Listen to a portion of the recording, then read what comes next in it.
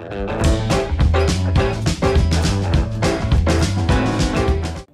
everyone, how are you all doing and welcome back to our channel. In this video, we are going to discuss why did we have a premature delivery. At the end of this video, I'll be sharing you why did I have a premature delivery. I have divided the causes of premature delivery into broadly three categories. The first one is pregnancy related, the second one is health, and last but not the least, the health related issues. So without further ado, let's get straight into this video. Let's first look into the pregnancy related issues. The first cause may be pregnancies with twins, triplets, or even more. Having a span of less than six months between two pregnancies. So make sure that you have at least one year of gap between two pregnancies.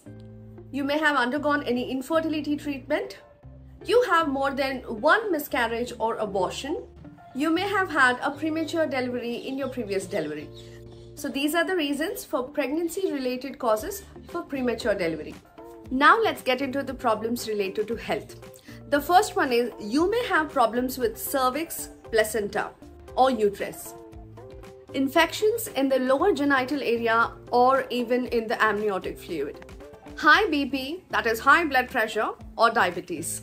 Injuries or trauma.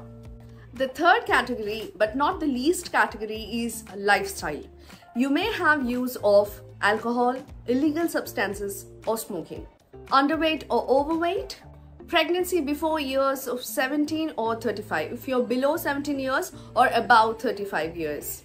You may have stressful life events like death of a loved ones or divorce or separation or any other issue, loss of job or even a trauma. Domestic violence is one of the leading cause of premature deliveries. So let's come to the question. Why did I have a premature baby? Because I had high BP. My BP was like literally 220 by 110. That is called pre-eclampsia. I've made a special video related to that. You can check out this video. And I also had extreme stress.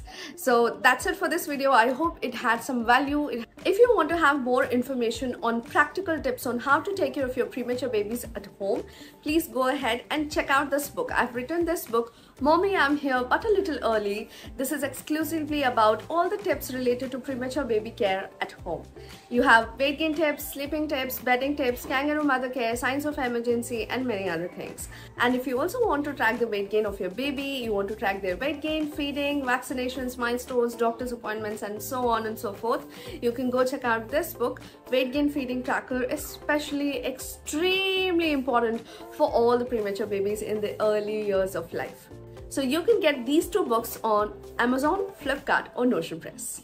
So yeah, we have come to the end of this video. That's it for this video. I hope you all liked it. If you do think so, please don't forget to hit the like button. If you haven't subscribed to our channel, don't forget to go ahead and click the subscribe button and hit the bell icon next to it so that whenever I post a next video, it will come straight to you. And yeah, please do share this information. This is very, very important with pregnant ladies and new mommies or even mommies who are still, you know, trying to know why did they have a premature delivery. That will really be helpful to clear a lot of doubts. I hope it all cleared a lot of doubts among all of you because many moms have this. Even I had this and I'm thankful to God that I cleared it. So yeah, I'll see you all in the next video. Until then, take care of yourselves and take care of your little ones. Bye-bye.